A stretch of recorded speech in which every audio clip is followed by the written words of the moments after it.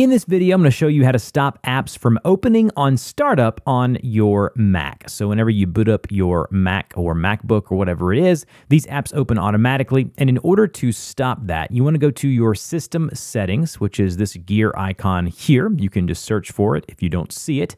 And then when you have your system settings open, you'll see a search bar on the left-hand side. Just go into that search bar and type in the word login. You then want to go to login items and extensions.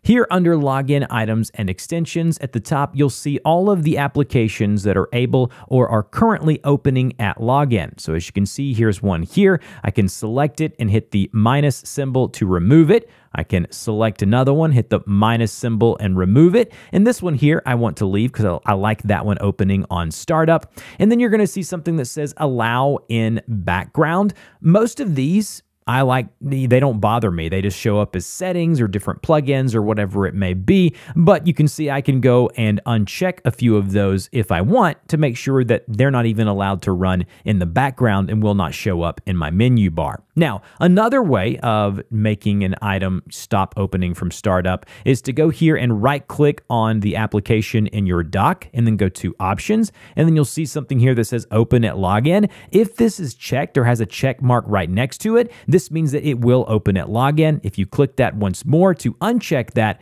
it will have the same effect of what we just did in system settings will it will no longer open at login. If this helped you, don't forget to like, share, and subscribe, and I will see you guys in the next video.